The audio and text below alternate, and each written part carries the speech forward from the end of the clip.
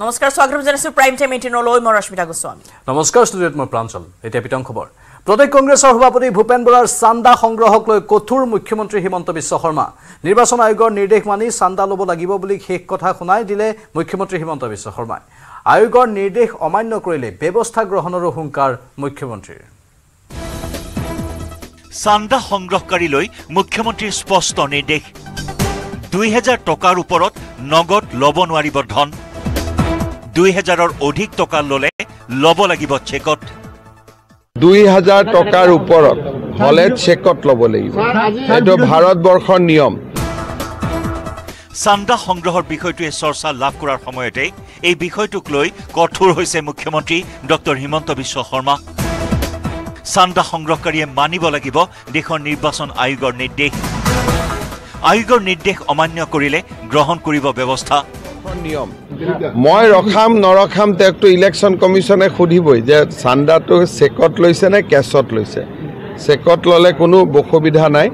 কেছত ল'লে দুই হাজাৰ টকাৰ তলত ল'ব লাগিব কিন্তু মুখ্যমন্ত্ৰী হিমন্ত বিশ্ব শৰ্মাৰ নিৰ্দেশক প্ৰত্যাহ্বান জনাই প্ৰদেশ কংগ্ৰেছৰ সভাপতি ভূপেন বৰাৰ ঘোষণা মই চান্দা লৈছিলো। চান্দা লৈ আছো আৰু ভৱিষ্যতেও ল'ম। মই সূৰ্যৰ পোহৰত কৈ আছোঁ সূৰ্যৰ পোহৰত। ভৰ দুপৰীয়া ৰ'দত মই কৈ আছোঁ। অসমৰ যিকোনো মানুহে যদি কংগ্ৰেছ দলক ডনেশ্যন দিয়ে মই ল'ম। আৰু মই ৰাইজক হিচাপ দিম। মই ডনেশ্যন লৈছোঁ। শেহতীয়া মাৰ্চ মাহত আশী লাখ টকাৰ চান্দা সংগ্ৰহ কৰাৰ কথা নিজ মুখেই স্বীকাৰ কৰিলে কংগ্ৰেছৰ নেতাগৰাকীয়ে। মই যোৱা মাহতো আশী লাখ টকা চান্দা লৈছোঁ। কংগ্ৰেছে সংগ্ৰহ কৰা এই বৃহৎ পৰিমাণৰ ধনক লৈ মুখ্যমন্ত্ৰী হিমন্ত বিশ্ব শৰ্মাক মুকলিকৈ প্ৰত্যাহ্বান জনাই প্ৰদেশ কংগ্ৰেছৰ সভাপতিগৰাকীয়ে ক'লে পাৰে যদি কংগ্ৰেছে সংগ্ৰহ কৰা চান্দাৰ তদন্ত ঘোষণা কৰক মুখ্যমন্ত্ৰীয়ে। চি বি আই ইডিৰ জৰিয়তে তদন্তৰ আহ্বান ভূপেন বৰাৰ। মই মুখ্যমন্ত্ৰীকো আহ্বান জনাইছোঁ আপোনাৰ যদি দম আছে E D C B I লগাই দিয়ক। মই চান্দা লৈ আছোঁ আৰু মই চান্দা লৈ থাকিম। অসমৰ সকলো ব্যক্তিয়ে কংগ্ৰেছ দলক চান্দা দিব এতিয়া। ইফালে চান্দা প্ৰসংগৰ সমান্তৰালকৈ ৰাজ্যত এতিয়া চৰ্চিত হৈ আছে কংগ্ৰেছৰ টিকটৰ নামত ধনৰ লেনদেনৰ প্ৰসংগ। এদিন পূৰ্বে কংগ্ৰেছ নেতা ৰমেন বৰঠাকুৰেও আনুষ্ঠানিকভাৱে প্ৰকাশ কৰিছিল টিকটৰ বাবদ ধন দিয়াৰ চাঞ্চল্যকৰ মন্তব্য। মানুহক বাদ দি তুমি মীৰা বৰঠাকুৰক আনিবা মীৰা অঞ্জিত মহন্তক আনিবা তুমি আমুক আনিবা চব নতুন মানুহ দি দলত পুৰস্কাৰ দি দিব কংগ্ৰেছটো কেনেকৈ ভৱিষ্যত হ'ব অজিত ভূঞা মতে বোকাখাত দিব মঞ্জিত মহন্তক চিট দিব কেনেকুৱা কথা? মইতো কৈছোঁ যোৱাবাৰো মই পঞ্চাছ লাখ দিছিলোঁ। দলটোক ভাল পাওঁ কাৰণে দিছিলোঁ মইতো বনিয়া নহয় নহয়। চকুজ দিলে ৰেজিগনেশ্যন হ'ব। চকুজ দিলে ৰেজিগনেশ্যন হ'ব চকুজ চিটিয়া নলগা চকুজটো আগতেও দিছিলে কংগ্ৰেছ নেতা ৰমেন বৰঠাকুৰে টিকটৰ বাবদ ধন প্ৰদান কৰা বিষয়টো এক প্ৰকাৰ স্বীকাৰ কৰিও ভূপেন বৰাই আখ্যা দিলে সেয়া চান্দা আছিল বুলি মই টকা দিলে ল'ম মই সূৰ্যৰ পোহৰত কৈ আছোঁ সূৰ্যৰ পোহৰত ভৰ দুপৰীয়া ৰ'দত মই কৈ আছোঁ অসমৰ যিকোনো মানুহে যদি কংগ্ৰেছ দলক ডনেশ্যন দিয়ে মই ল'ম আনহাতে টিকটৰ বাবদ ধনৰ লেনদেনৰ বিষয় উত্থাপন কৰা দুলু আহমেদক আক্ৰমণ কংগ্ৰেছৰ কাৰ্যকৰী সভাপতি জাকিৰ হুছেইন চিকদাৰৰ। ক্লাছহীন ব্যক্তিয়ে কৰা মন্তব্যত সময় অপচয় নকৰে কাৰ্যকৰী সভাপতিগৰাকীয়ে। ক্লাছ নোহোৱা।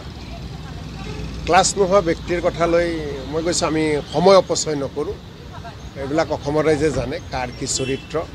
পিছে ধনৰ লেনদেনক কংগ্ৰেছে যিমানেই নচ্ছাত কৰিলেও টিকটৰ নামত যে কংগ্ৰেছত মুকলি বজাৰ বহে সেই কথা পুনৰবাৰ দাবী কৰিছে বিজেপিক সমৰ্থন কৰা কংগ্ৰেছী বিধায়ক কমলাক্ষদেৱ পুৰকায়স্থয়ো। পিছে শাসক বিৰোধীৰ এনে বাকযুদ্ধৰ মাজত প্ৰদেশ কংগ্ৰেছে সংগ্ৰহ কৰা চান্দাৰ হিচাপ হ'বনে?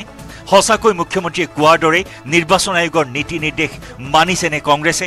যদি মনা নাই তেন্তে কি ল'ব এতিয়া ব্যৱস্থা? বলেন ভট্টাচাৰ্যৰ report news eighteen Assam north east.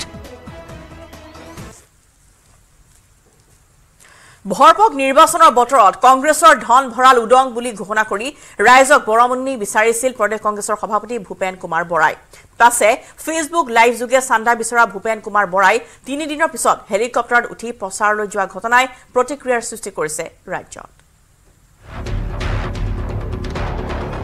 হাতত নাই ধন বৰ সবাহলৈ মন। নিৰ্বাচন খেলিবলৈ ধন বিচাৰি ফুৰিছে কংগ্ৰেছে।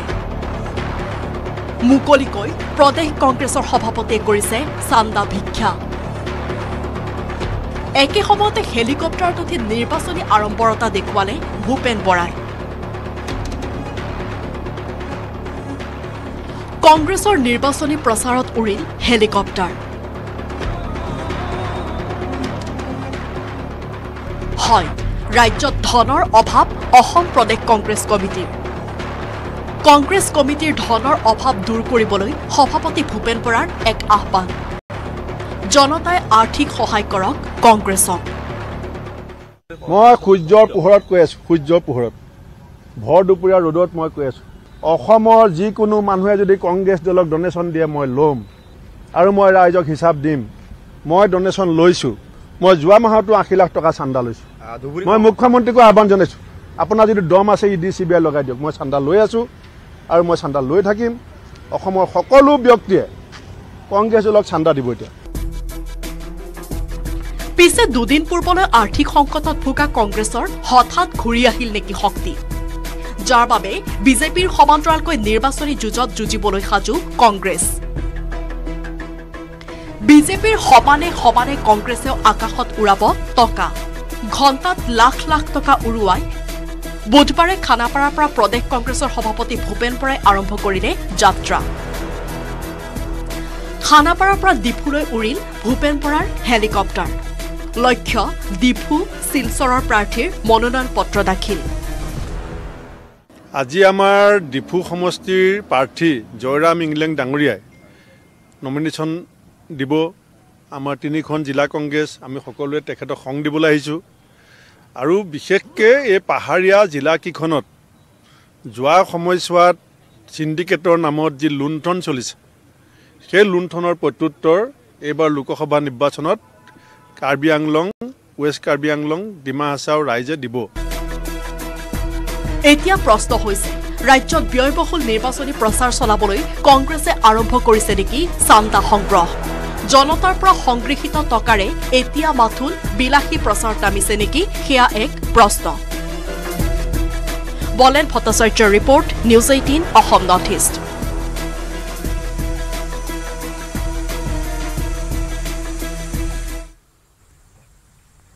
আমেথিত সাহ নহ'ল। কেৰালাৰ ৱাইনাৰ সমষ্টিৰ পৰাই আজি মনোনয়ন দাখিল কৰিলে কংগ্ৰেছ নেতা ৰাহুল গান্ধীয়ে। বিশাল সমদলৰ মাজেৰে ভগ্নী প্ৰিয়ংকাক লৈ মনোনয়ন দাখিল কৰিলে ৰাহুলে। ৰাহুল গান্ধীৰ মূল প্ৰতিদ্বন্দ্বী হিচাপে সমষ্টিটোত আছে চি পি আই নেতা আন্নী ৰাজা আৰু কেৰালাৰ ৰাজ্যিক বিজেপিৰ সভাপতি কে সুৰেন্দ্ৰন।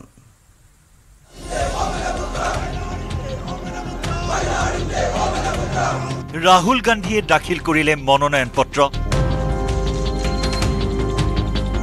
কেৰালাৰ ৱাইনাড সমষ্টিৰ পৰা নিৰ্বাচন খেলিব ৰাহুল গান্ধীয়ে। ভগ্নী প্ৰিয়ংকাক লগত লৈ মনোনয়ন দিলে ৰাহুল গান্ধীয়ে। বিশাল ৰোড শ্ব' কৰি ৰাহুল গান্ধীয়ে দাখিল কৰিলে মনোনয়ন। গণতন্ত্ৰ ৰক্ষা আৰু সংবিধান ৰক্ষাৰ বাবে এই নিৰ্বাচন। এই শ্লোগানেৰে বুধবাৰে মনোনয়ন দাখিল কৰিলে কংগ্ৰেছৰ কাণ্ডাৰী ৰাহুল গান্ধীয়ে। এটা পক্ষই গণতন্ত্ৰ আৰু সংবিধানৰ ধ্বংসযজ্ঞত নামিছে আৰু আনটো পক্ষই গণতন্ত্ৰ আৰু সংবিধান ৰক্ষাৰ বাবে যুঁজিছে কোনটো পক্ষত কোন আছে জনতাই জানে বুলি মন্তব্য ৰাহুল গান্ধীৰ This election is a fight for democracy and for the Constitution of India. On one side are the forces that want to destroy the democracy of this country. It's very clear to all of you who is on which side. It is very clear who's attacking the Constitution, who is attacking the democratic structure of this country. মনোনয়ন দাখিলৰ পিছতে নিৰ্বাচনী প্ৰচাৰতো নামি পৰে ৰাহুল। ৱাইনাৰত নিৰ্বাচনী প্ৰচাৰ আৰম্ভ কৰে ৰাহুল গান্ধীয়ে। জনতাক উদ্দেশ্যি ৰাহুলে কয় মই আপোনালোকক ভোটাৰ বুলি নহয় মোৰ পৰিয়াল বুলি ভাবোঁ। মই প্ৰিয়ংকাক যেনেদৰে ভাবোঁ আপোনালোককো তেনেদৰে ভাবোঁ বুলি মন্তব্য ৰাহুলৰ। Every single person in Wayanad gave me love, affection, respect, and treated me as one of their own. It has been an honor for me to be your member of parliament. I don't treat you and think of you like an electorate. I treat you and think of you the same way I think of my little sister Priyanka over here. মনোনয়নৰ সময়ত ৰাহুলৰ লগত আছিল প্ৰিয়ংকা গান্ধী ভাদ্ৰা ৱাইনাৰৰ জনতাক এইবাৰো ৰাহুলক আশীৰ্বাদ দিবলৈ আহ্বান জনালে প্ৰিয়ংকা গান্ধীয়ে। লক্ষণীয় যে বিজেপিক প্ৰতিৰোধ কৰিবলৈ গঠন হোৱা বিৰোধীৰ ইণ্ডিয়া ব্লকৰ বিভাজনো স্পষ্ট হৈছে ৱাইনাৰত।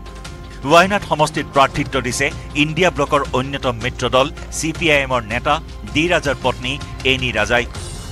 চি পি আই এমৰ জ্যেষ্ঠ নেত্ৰী এনি ৰাজাৰ লগতে ৱাইনাৰত ৰাহুলক প্ৰত্যাহ্বান জনাবলৈ বিজেপিয়ে প্ৰাৰ্থিত্ব দিছে কেৰালাৰ বিজেপিৰ সভাপতি কে সুৰেন্দ্ৰনক ৰাহুল গান্ধীৰ বিৰুদ্ধে নিজৰ মনোনয়ন দাখিল কৰি এনি ৰাজাই কয় যে মই জনতাৰ ভোট বিচাৰি আহিছো ৰাহুলৰ ভোটৰ অংক কৰিবলৈ অহা নাই I am not here to uh, examine whether Rahul Gandhi is afraid or UDF is afraid or not.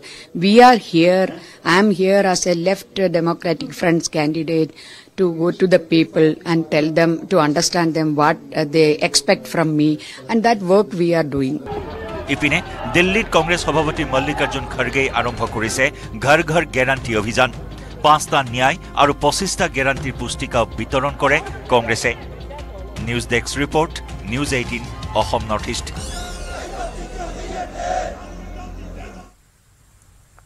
দিল্লীৰ পৰা গুৱাহাটী অভিমুখী ইণ্ডিগ' বিমানত যাত্ৰীৰ বাবে যোগান ধৰা খাদ্যত ওলাল পোক। লগে লগে হুলস্থুলীয়া পৰিৱেশৰ সৃষ্টি হ'ল বিমানখনত। খাদ্যৰ নামত এক বৃহৎ পৰিমাণৰ ধন লোৱাৰ বিপৰীতে যাত্ৰীক এনেদৰে অস্বাস্থ্যকৰ খাদ্য যোগান ধৰা কাণ্ডত তীব্ৰ অসন্তুষ্টি ব্যক্ত কৰিলে যাত্ৰীসকলে।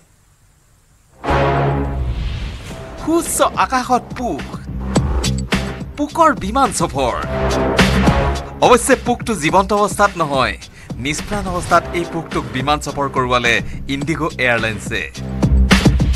দিল্লীৰ পৰা গুৱাহাটী অভিমুখী ইণ্ডিগ বিমানত ইণ্ডিগ কৰ্তৃপক্ষই বিমান যাত্ৰীৰ বাবে যোগান ধৰা খাদ্যত যাত্ৰীয়ে দেখা পালে পোক। লগে লগে বিমানখনত সৃষ্টি হ'ল হুলস্থূলীয়া পৰিৱেশৰ। খাদ্যৰ নামত বৃহৎ পৰিমাণৰ ধন লোৱাৰ বিপৰীতে যাত্ৰীক এনেদৰে অস্বাস্থ্যকৰ খাদ্য যোগান ধৰা কাণ্ডত তীব্ৰ অসন্তুষ্টি যাত্ৰীসকলৰ। দিল্লী গুৱাহাটী আৰ এইটি flight number six E two zero' nine five to zero nine five उसमें हम लोग को सैंडविच खाने के लिए दिया था उस सैंडविच में इतना बड़ा सा पिन, पिल्लू मिला मैंने कंप्लेन भी दिया था और हमारे साथ में कैबिनेट मंत्री सर्वानंद सोनोवाल भी थे उन्होंने देखा था इंडिगो फ्लाइट था वो দিল্লীৰ পৰা গুৱাহাটী অভিমুখী six E two zero' nine five নাম্বাৰৰ বিমানখনত খাদ্য তোলাল পোক উল্লেখযোগ্য ইণ্ডিগ' এয়াৰলাইন্সৰ নিম্নমানৰ সেৱাক লৈ বিভিন্নজনে অভিযোগ উত্থাপন কৰি আহিছে ছচিয়েল মিডিয়াতো প্ৰকাশ পাইছে হাৰাশাস্তিৰ সন্মুখীন হোৱা এনে বিভিন্নজন যাত্ৰীৰ অসন্তুষ্টি। আজাৰাৰ পৰা ধ্ৰুৱজ্যোতি কলিতাৰ report news eighteen Assam north east. টাইৱানত ভূমিকম্পৰ ভয়ংকৰ জোকাৰণি তিনি দশকৰ সৰ্বাধিক প্ৰাবল্যৰ ভূমিকম্পত তছ নছ হৈ গৈছে টাইৱানৰ লগতে পশ্চিম জাপানৰ বহু অঞ্চল। সাতশ চৌত্ৰিছগৰাকী আহত লোকৰ আৰ্ট চিৎকাৰত বুৰ গৈছে টাইৱান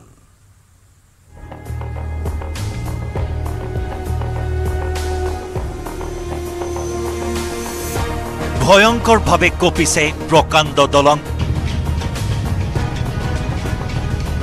ৰৈ গৈছে গাড়ী স্কুটি বাইক। উৰণ সেতু কঁপিছে সোৱে বাৱে। ৰাজপথ এনেদৰে লৰিছে যেন মাটি ফাটি ওলাই আহিব কোনোবা দানৱ। গাড়ীৰ ডেছকেমত বন্দী হৈছে ভূমিকম্পৰ সময়ৰ এই শিহৰণকাৰী দৃশ্য। ৰাজপথত প্ৰকাণ্ড বাছ কেনেদৰে লৰিছে দেখিলেই শিহৰিত হৈ উঠিব সকলো। টাইৱানত বুধবাৰে ভয়ংকৰ ভূমিকম্পই জোকাৰি যোৱাৰ পিছতে বুকু কঁপি যোৱা এইসমূহ দৃশ্য ভাইৰেল হৈছে ছচিয়েল মিডিয়াত। ৰিক্টাৰ স্কেলত সাত দশমিক পাঁচ প্ৰাবল্যৰ ভূমিকম্পই জোকাৰিলে টাইৱান তিনি দশকৰ ভিতৰত শক্তিশালী ভূমিকম্পই জোকাৰি গ'ল দ্বীপ ৰাষ্ট্ৰখনক ভূমিকম্পৰ অভিকেন্দ্ৰ আছিল টাইৱানৰ গোৱালিয়ান চহৰৰ পৰা পঁচিছ কিলোমিটাৰ দক্ষিণ পূবত। প্ৰশান্ত মহাসাগৰৰ পোন্ধৰ দশমিক পাঁচ কিলোমিটাৰ গভীৰত অভিকেন্দ্ৰ। ভূমিকম্পত টাইৱানৰ কেইবাখনো চহৰত বাগৰি পৰে বহু অট্টালিকা হাউলি পৰিল সুউচ্চ বহু ভৱন ধ্বংস হ'ল বহু বিলাসী যান বাহন আনহাতে ভূমিকম্পৰ পাছতে ভিন্ন স্থানত ভূমিস্খলন সংঘটিত হয় যাৰ ফলত বিভিন্ন স্থানত বহু লোক আবদ্ধ হৈ পৰে। ইপিনে ভূমিকম্পৰ পিছতে টাইৱান আৰু পশ্চিম জাপানত ছুনামি এলাৰ্ট জাৰি কৰা হয়।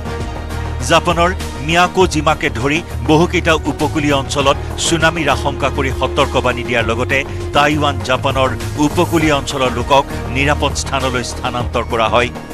তিনি মিটাৰ দহ ফুট পৰ্যন্ত উচ্চতাৰ সাগৰীয় ঢৌৱে কোবাই যোৱাৰ আগজাননী জাৰি কৰিছে কৰ্তৃপক্ষই। ফিলিপাইনছতো ছুনামিৰ আশংকা প্ৰকাশ কৰা হৈছে। এতিয়ালৈ ভূমিকম্পৰ ফলত সাতজন লোক নিহত হোৱাৰ লগতে সাত শতাধিক লোক আহত হোৱা বুলি জানিব পৰা হৈছে। ধ্বংসস্তূপৰ তলত আৰু বহু লোক আবদ্ধ হৈ থকাৰ আশংকা কৰা হৈছে। উদ্ধাৰকাৰী দলে অবিৰাম গতিত উদ্ধাৰ অভিযান অব্যাহত ৰাখিছে। উল্লেখযোগ্য যে ঊনৈছশ নিৰান্নব্বৈ চনত টাইৱানত সাত দশমিক ছয় ৰিক্টাৰ স্কেলৰ ভূমিকম্প হৈছিল। সেই ভূমিকম্পত মৃত্যুমুখত পৰিছিল দুই হাজাৰ পাঁচশৰো অধিক লোক।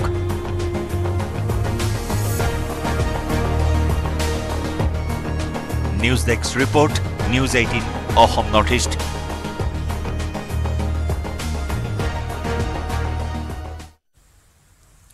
মহাৰাষ্ট্ৰৰ সম্ভাজী নগৰত এক শোকাবহ ঘটনা। অট্টালিকাৰ ভিতৰত জীৱন্তে অগ্নিদগ্ধ হৈ এটি পৰিয়ালৰ দুটি শিশুৰ লগতে সাতজনৰ মৃত্যু হৈছে। নিশা চাৰ্জিং দি থকা অৱস্থাতে এখন ইলেক্ট্ৰিক স্কুটাৰত জুই লগাৰ পিছতেই জুয়ে আগুৰি ধৰে সমগ্ৰ অট্টালিকাটো। শুই থাকোঁতেই সন্তৰ্পণে আহিল মৃত্যু। এজন এজনকৈ পৰিয়ালৰ সাতজন লোকৰ জীৱন্ত চিতা জ্বলি উঠিল শুই থকা সজ্জাত মহাৰাষ্ট্ৰৰ সম্ভাজী নগৰত ঘটিল এই কৰুণ ঘটনা। ঔৰংগাবাদৰ কেণ্টনমেণ্টৰ দানাগালি অঞ্চলত জীৱন্তে অগ্নিদগ্ধ হৈ এটা পৰিয়ালৰ সাতজন লোকৰ মৃত্যু ঘটে। নিহতসকলৰ মাজত আছে দুটি কণমানিও। নিশা চাৰ্জিং দি থকা অৱস্থাত এখন ইলেক্ট্ৰিক স্কুটাৰত লাগিছিল জুই। এখন টেইলাৰিং দোকানৰ বাহিৰত চাৰ্জিং দিয়া আছিল ইলেক্ট্ৰিক স্কুটাৰখন কিছু মিনিটৰ ভিতৰতে জুয়ে কাপোৰেৰে ভৰা দোকানখন আগুৰি ধৰিলে আৰু এই জুই বিয়পি পৰিল অট্টালিকাটোৰ প্ৰথম আৰু দ্বিতীয় মহলালৈ ঘটনাৰ সময়ত দ্বিতীয় মহলাত আছিল এই পৰিয়ালটো জুই বিয়পি পৰাৰ লগে লগে আবদ্ধ হৈ পৰে পৰিয়ালটো ये बहुत ही अ, दर्दनाक घटना है कि एक पूरा का पूरा परिवार रात में सोने के लिए जाता है और सुबह अ, उनकी लाशें निकलती है जिसमें छो- दो छोटे छोटे बच्चे हैं मैं अस्पताल में जाकर आया हूँ वो बच्चों की हालत देखने के बाद ऐसा लगता है कि वो बच्चे सो रहे हैं अ, साफ है कि धुएं की वजह से वो बच्चों की मौत हुई है ऐसे कुल मिलाकर सात लोगों का पूरा का पूरा परिवार जिसके अंदर तीन महिलाएं भी है पुरुष है और बच्चे है वो पूरे के पूरे ख़त्म हो चुके हैं আৰু তাৰ পিছতে কোনেও কাকো এষাৰ মাত লগাবলৈ নোপোৱাকৈ মৃত্যুক আঁকোৱালি লয় গোটেই পৰিয়ালটোৱে। News desk report news eighteen Assam north east.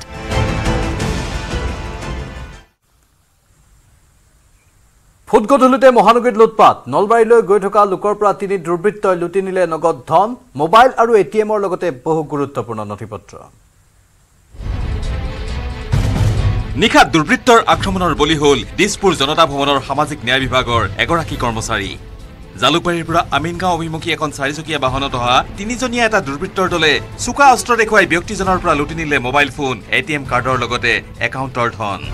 মহানগৰীৰ জালুকবাৰীত ঘটিল এই লুটপাটৰ ঘটনা।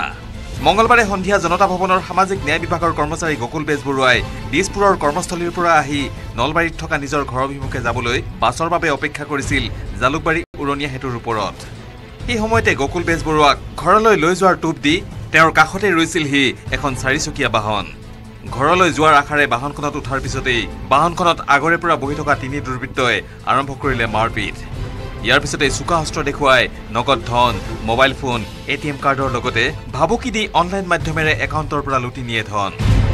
এই ঘটনা সংঘটিত কৰি দুৰ্বৃত্তৰ দলটোৱে গকুল বেজবৰুৱাক চকুত কলা কাপোৰ বান্ধি আমিনগাঁৱৰ আৰক্ষী অধীক্ষকৰ কাৰ্যালয়ৰ সমীপত নমাই থৈ যায়। ট্ৰিপ ডিজৰ এখন আহি মোক সুধিলে ক'ত যাব বুলি। হয়। মই ক'লো যে আৰিকুচি যাম। হয়। তাৰপিছত সিহঁতে ক'লে বোলে আমি নলবাৰী যাম উঠা। তাৰপিছত মই উঠি আহি শৰাইঘাট ব্ৰিজখন পাৰ হৈ সিহঁতে মোক হেঁচা মাৰি ধৰিছে গাড়ীৰ ভিতৰত। ধৰি কেইজন আছিলে? তিনিজন আছিল। তাৰপিছত মোৰ মোবাইল মানি বেগ গোটেইখিনি লৈ ল'লে এ টি এম। হয়। লৈ মোক মাৰপিট কৰিছে এইবিলাক হাতত কাটি গৈছে এই ঘটনা সন্দৰ্ভত ভুক্তভোগী গকুল বেজবৰুৱাই জালুকবাৰী আৰক্ষী থানাত দাখিল কৰিছে এজাহাৰ। ধীৰাজ দাসৰ report news eighteen Assam north east.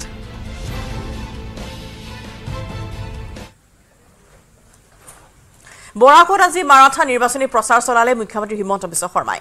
বৰাকৰ তিনিওখন জিলাতে মুখ্যমন্ত্ৰীয়ে বজালে নিৰ্বাচনী ৰণসিঙা শিলচৰ কৰিমগঞ্জৰ পিছত হাইলাকান্দি নিৰ্বাচনী প্ৰচাৰ সভাত অংশগ্ৰহণ কৰিলে মুখ্যমন্ত্ৰীয়ে।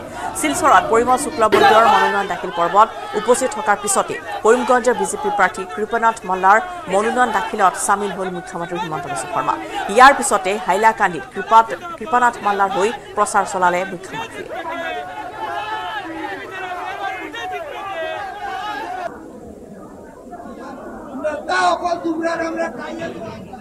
হাইলাকান্দিৰ জনসভাত ভাগ লোৱাৰ পূৰ্বে শিলচৰত পৰিমল শুক্লবৈদ্যৰ মনোনয়ন দাখিল পৰ্বত উপস্থিত আছিল মুখ্যমন্ত্ৰী হিমন্ত বিশ্ব শৰ্মা।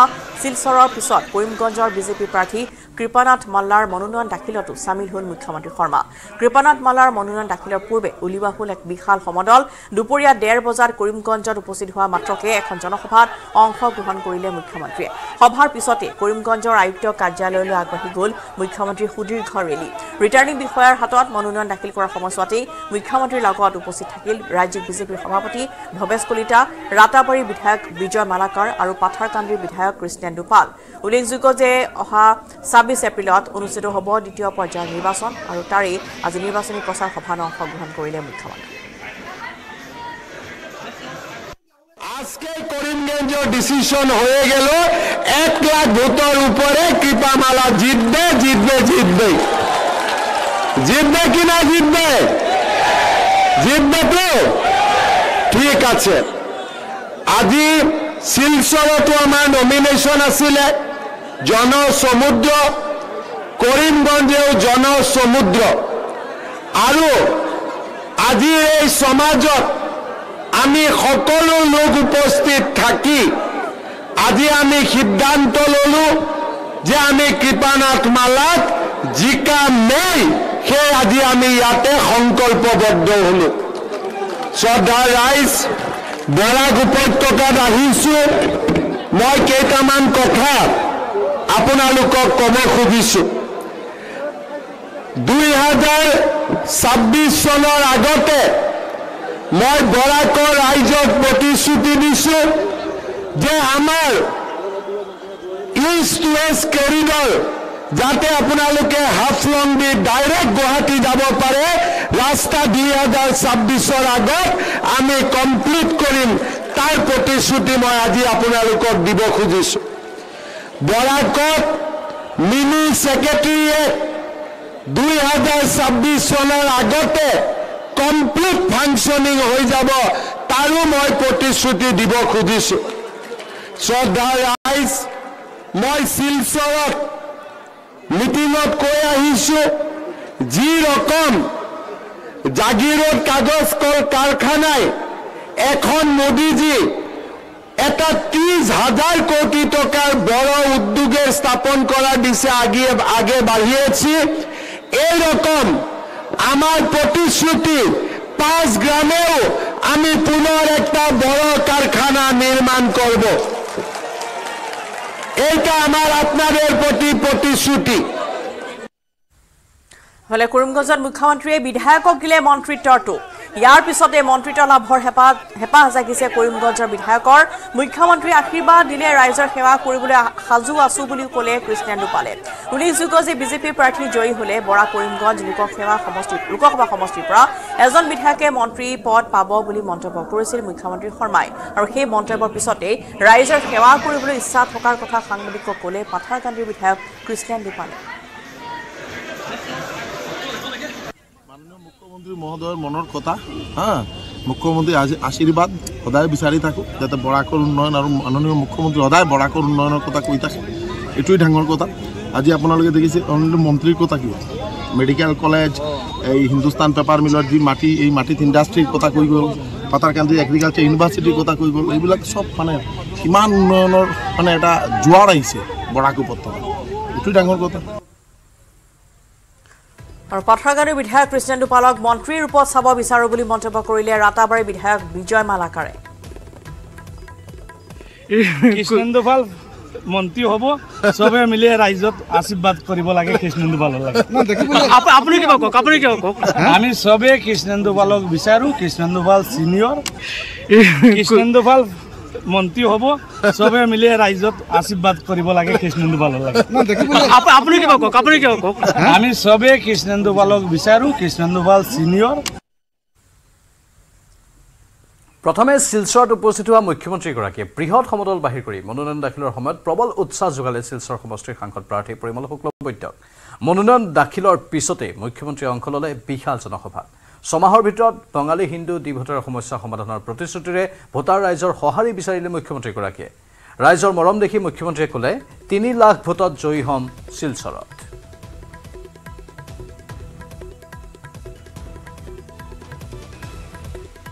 শিলচৰৰ প্ৰচাৰ সভাত ভাগ লৈ কেইবাটাও গুৰুত্বপূৰ্ণ মন্তব্য কৰিলে মুখ্যমন্ত্ৰীয়ে। মুখ্যমন্ত্ৰীয়ে ক'লে ছমাহৰ ভিতৰত সমাধান হ'ব হিন্দু বঙালী দ্বি ভোটাৰৰ সমস্যা।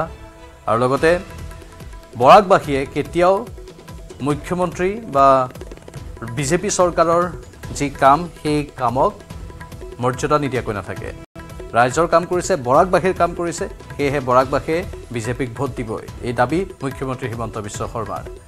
এনেধৰণে মুখ্যমন্ত্ৰীগৰাকী শিলচৰত উপস্থিত হ'ল কৰিমগঞ্জতো গৈ উপস্থিত হ'ল আৰু বৰাক উপত্যকাৰ বিভিন্ন প্ৰান্তত পৰিভ্ৰমণ কৰি বহুজনৰ মৰম বুটলিবলৈ সক্ষম হ'ল। তেওঁ দুখনকৈ নিৰ্বাচনী প্ৰচাৰ সভাত অংশ ল'লে সমান্তৰালভাৱে মনোনয়ন দাখিল পৰ্বতো অংশ ল'লে। আৰু এই মনোনয়ন পৰ্ব দাখিলৰ সময়ৰ দৃশ্য দেখুৱাইছোঁ পৰিমল শুক্লবৈদ্যৰ। লগতে তেওঁ ডি ভোটাৰৰ কথা ক'লে হিন্দু বাঙালী ডি ভোটাৰৰ সমস্যা সমাধান হ'ব ছমাহৰ ভিতৰতে। এয়া মুখ্যমন্ত্ৰীৰ বক্তব্য। মই আপোনালোকক কথা দিছো যে আৰু মাত্ৰ মোক ছয় মাহ সময় দিয়ক। বাঙালী হিন্দু ডি ভোটাৰ টুটাৰ যিমান সমস্যা আছে মই চব সমস্যা সমাধান কৰি ল'ম। আগতে মই কোৱা নাছিলো ডাইৰেক্ট টাইম দি। কিয় কোৱা নাছিলো? কাৰণ দিল্লীত অলপ কাম বাকী আছিলে। এতিয়া দিল্লীত কাম কমপ্লিট হৈ গ'ল বাকী ষ্টেট গভৰ্ণমেণ্টৰ কাম কোনো মানুহৰ কষ্ট নোখোৱাকৈ জেনুইন মানুহৰ কাজ জেনুইন মানুহৰ সমস্যা চব আমি সমস্যাৰ সমাধান কৰবে। এই প্ৰতিশ্ৰুতি আজি আপোনালোকক আমি দিছো। আজি ৰেচন কাৰ্ডৰ লগত একটা আয়ুষ্মান ভাৰত কাৰ্ড উজ্বলা গেছ বজাৰত যদি দাম এক হাজাৰ টকা নশ টকা উজ্বলা দে জন্যে ছয়শো টাকা। প্ৰত্যেক মাসে তিনশ টকা লাভ। এতিয়া আমি কি কলো অৰুণোদয় তাৰমানে একটা ৰেচন কাৰ্ডৰ কেইটা বেটা বেটি হ'ল। পাঁচ কেজি চাউল হৈ গ'ল উজ্বলা গেছ হৈ গ'ল অৰুণোদয় হৈ গ'ল আয়ুষ্মান ভাৰত কাৰ্ড হৈ গ'ল। এতিয়া আৰু এটা পাঁচ নম্বৰ বেটা জন্ম হ'ব। এইবাৰ আমি চিন্তা কৰিছো যে আমাৰ ফেমিলিত যাৰ ঘৰত ৰেচন কাৰ্ড আছে head of the family earning member of the family এই আৰ্নিং মেম্বাৰ অফ দ্য ফেমিলিক আমি একটা লাইফ ইঞ্চুৰেঞ্চ আৰু হেল্থ ইঞ্চুৰেঞ্চ কৰাই দিম। প্ৰিমিয়াম কোন দিবে? চৰকাৰ এই প্রিমিয়ামটা দিবে। ইন্স্যুরেন্সটা আপনারার হবে, প্রিমিয়ামটা বছরের প্রিমিয়ামটা কোন দিবে? সরকার দিবে। এতিয়া আমাৰ মানুহজন যদি ভগৱানে নকৰক ঢুকাই গ'ল, একটা অন্তত প্ৰটেকশ্যন থাকিব। ইঞ্চুৰেঞ্চটো লৈ ইঞ্চুৰেঞ্চ কোম্পানীৰ তাত গ'লে কিছু একটা টকা হ'লেও আজি আমি মানুহে পাব পাৰিম। তাৰমানে একটা ৰেচন কাৰ্ড কিমান হ'ল? পাঁচটা বাচ্চা হ'ল নে নাই? পাঁচটা বেটা বেটি। হ'ল। আৰু এবাৰ হিচাপ কৰক ৰেচন কাৰ্ড হৈ গ'ল পাঁচ কেজি চাউল ডাঙৰ বেটা। আয়ুষ্মান ভাৰত দুই নম্বৰ বেটা। মাজত বেটিও থাকিব। তাৰপিছত ইঞ্চুৰেঞ্চ স্কিম তিন নম্বৰ। অৰুণোদয় চাৰি নম্বৰ। আৰু উজ্বলা গেছ পাঁচ নম্বৰ হ'লনে একটা ৰেচন কাৰ্ডৰ বেটা বেটি কিমান? কতটা? কিন্তু আপনাদের পাঁচটা হবে না, আপনাদের দুটাতেই থাকতে হবে, ঠিক আছে?